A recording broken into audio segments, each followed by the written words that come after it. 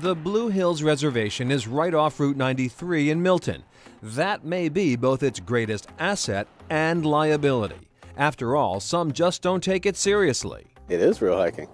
And a lot of people don't think it's real hiking because it's so close to the city. I just saw some sassafras. For Jarrell Ferguson of Hike for Life, Blue Hills is his regular stomping grounds. You can really completely disappear in the Blue Hills.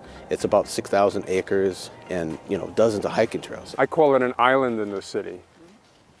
We're surrounded by six towns, about 650,000 people and 250,000 households within five miles of the Blue Hills. I mean, that's pretty spectacular.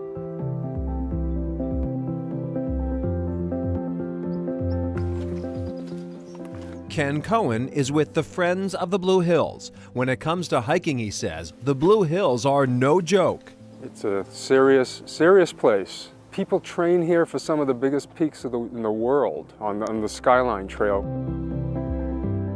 If the Blue Hills offer a generous helping of hiking bliss, the observation tower just might be the stone cherry on top. Absolutely. Spectacular vistas, in some cases 270 degree views all around. You see Boston, you see the inner harbor, the outer harbor, the surrounding towns, and the nature. And I've found out that even people in surrounding towns, some, many people have never been here before.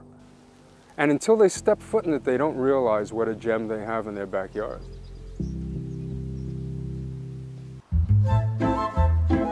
We've finally caught up with Anne and Ian Hayes. You see, they are always on the move.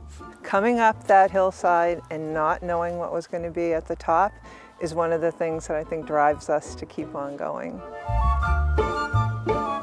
The Hayes are participating in the Trustees of Reservations Hike 125 Challenge. The object to cover 125 miles of trails on trustees' properties over the course of a year. We tried to hit as many different properties as we could, and this was one of the ones we had never heard of. So it was an inspiration to try to find it and come up here.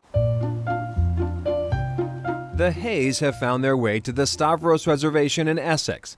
A short walk up this little hill amounts to a small investment with a big payoff. Magnificent views of the Essex River estuary. You're coming through the woods, you know it's a little bit dark, there's overhanging branches, and you come out here, wide open, a beautiful stone tower, and just these transformative views.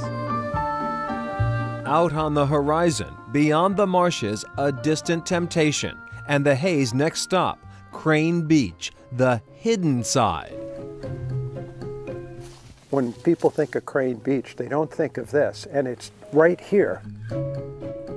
There are miles and miles of trails back in the Crane Beach dunes. It's like a moonscape. I mean, it's otherworldly at times. You can be back here and the beach will be crowded and there'll be not a soul here. Towards the end of the trail, on one side you get the bay, on the other side you get the views of the ocean, Uh, it has something for everybody, and there's lots of wildlife too.